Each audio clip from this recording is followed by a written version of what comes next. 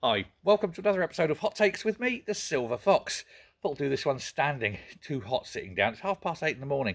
It's already bush hot. Honestly, you think you're in the Canary Islands or somewhere in the Med. Uh, anyway, um, there's a nationalist group who, uh, who obviously have their desire and their beliefs that Scotland should be an independent country. And they want to hold a convention. I'm fine, I'm happy with that. If that's what they want to do, they go hire that hall, invite those people, have that convention, talk a load of old rubbish, and then watch as it doesn't happen. And that's absolutely marvellous. Except this lot, they don't just want to do that. Uh, they want the taxpayers to fund this convention. They want to bring unionists on board because they want to try and spread the word.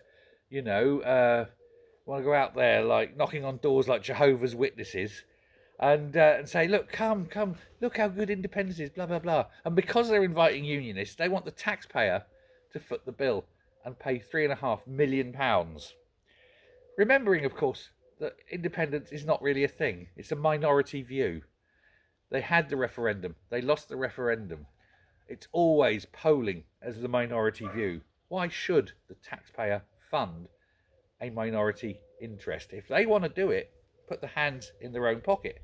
After all, if they think independence is going to happen and they've got the numbers, I'm sure everyone don't mind throwing in a tenner.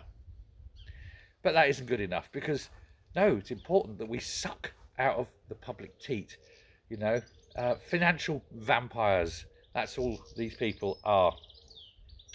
But they want to hold this, what they're calling it, a citizens' convention, um, where everybody, with both sides of the part, both sides of the opinion, can come together and discuss things. And of course, that's not at all what it is. It's where they want to sort of go out there and proselytize and tell people this is the way. You know, follow the teachings of the wise one. Bow down in front of your new goddess. You know, cranky. Don't think so, matey. Um, but it is it, it is a, a, very wonderful and weird thing. Now it's run by a guy, and I've got his name here, Gordon MacIntyre Kemp. Here we go. Gordon MacIntyre Kemp. What a successful businessman he is. Uh, he turned sixty thousand pounds, fifty thousand uh, pounds, into a six hundred pounds uh, business. He, that was marvelous, isn't it? He, he lost fifty thousand pounds in a failed business venture.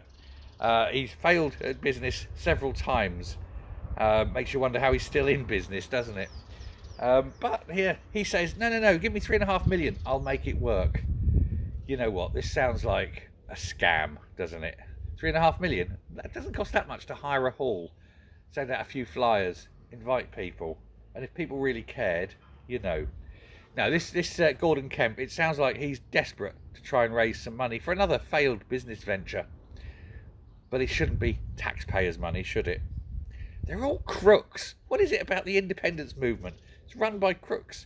£600,000 here, £20 billion there. Before you know it, you're talking real money.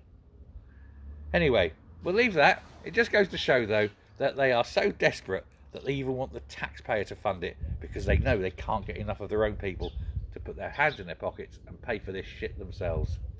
Thanks a lot. Bye.